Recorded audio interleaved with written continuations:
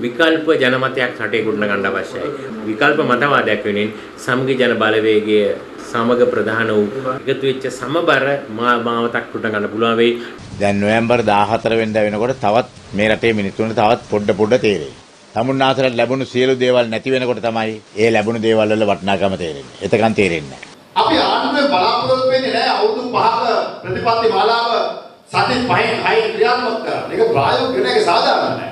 තමන්ගේ ආණ්ඩුව තුලින් ක්‍රියාත්මක කරන සම්බන්ධ යෝජනාත්මක විනාශකාරීත්වයට රැගෙන යන්න නැතුව වළක්වා ගැනීමේ වගකීමක් මේ ආණ්ඩුව දඩ මුක්ති කරන උපවක දේශපාලන පක්ෂයට තියෙනවා. සැබෑවටම පෝලිං යුගයේ දේශපාලන සටන්පාඩයකට පත් නොවි රට තුළ සැබෑවටම පෝලිං යුගය අවසන් කරන්න පුළුවන් සමාජයක් හදන්න.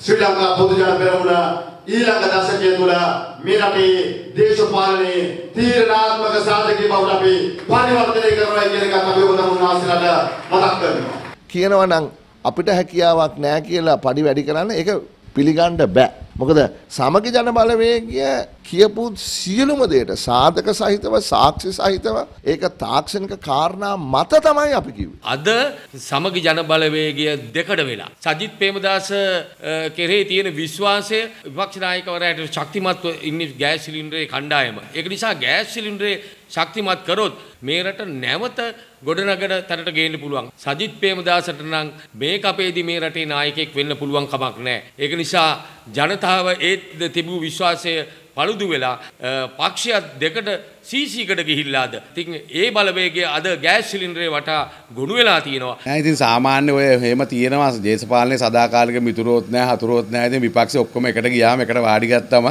ආණ්ඩුව වැරදි ගමනක් යනවා නම් විපක්ෂය හරියට පොදුවේ එකතු වෙලා ඒකට ආණ්ඩුවට අභියෝග කරන්න ලෑස්ති වෙයි. එච්චරයි වෙන්නේ. පුදුම කට්ටිය අපට මගේ පෙන්වන්න. හොරකම් කරන්න මග පෙන්නයි අපිට ඕන.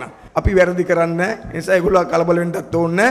නාමල් රාජපක්ෂ පිළියරන් තියෙනවා ලංකාවේ කිසිම දිස්ත්‍රික්කයකින් පොහොට්ටුවට එක മന്ത്രിකමක්වත් ගන්න බෑ කියලා නිසා තමයි ජාතික ලැස්තුරින් කරන්නේ. යා හිතන් ඉන්නෝ ඔය හැම දිස්ත්‍රික්කෙම ඡන්ද 3000 4000 5000 හම්බුනාම ඕක එකතු කරලා එකතු කරලා එකතු කරලා ලක්ෂ එකමාරක් වගේ හදාගෙන රනිල් වික්‍රමසිංහ වගේ ජාතික ලැස්තුවෙන් පාර්ලිමේන්තුවට හොරෙන් රින් ගන්න. මට නම් ඒක ෂුවර් නෑ.